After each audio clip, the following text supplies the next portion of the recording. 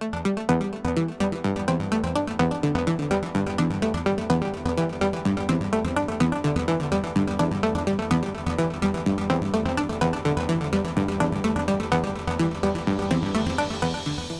the Bachelor in Economics here in Tilburg is, is about uh, trying to learn, uh, understand important questions in, in, the world. It has to do with, uh, with economics.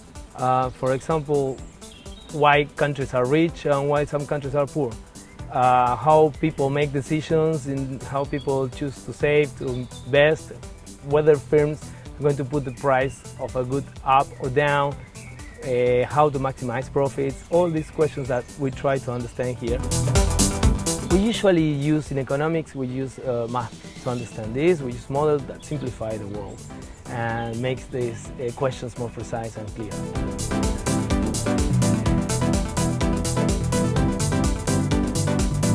Very international, it's very small-scaled, and uh, it's very high rated, and that's exactly what I was looking for. What I like most about the program is it really gets you out of your comfort zone. You shouldn't be afraid to do some uh, mathematics in order to get the answers to your questions. Many of our students go to study masters abroad, the top universities in US and UK, uh, like Cambridge, Oxford, Yale. You can work as in the public sector, like in ministries or central banks. Uh, in here in, Euro in Europe or elsewhere in the world.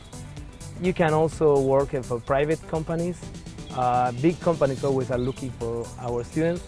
And also you can continue in, uh, in academia. The type of students is definitely ambitious. Um, they have really sorted out what they want and they are very internationally oriented. It's a student that is motivated to understand uh, the big questions. Uh, definitely it's a student who wants to interact with other international students and who is ready to, to work, but it's a program that is challenging but also attainable.